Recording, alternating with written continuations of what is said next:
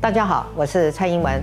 我知道有很多网友发起去接蔡英文的活动，请大家别担心，我已经回到总统府，继续为台湾打拼。王一川还有同行的李正浩、卓冠廷，你们也辛苦了。环岛一圈，应该看到许多台湾人的良善，以及民主路上的阳光灿烂。我们一起继续努力，守护台湾的民主自由，守护这块土地美丽的风景。这次选举，我们也努力的让社会更了解民进党的政策和目标。我也相信，成长在民主化年代的年轻世代，已经能够肩负国家的重任，带领台湾稳健的走向下一个阶段。看到你们在环岛，也让我想到今年五二零我就要毕业了。希望也有机会去环岛，到处走走，看看这些年我们一起改变的台湾。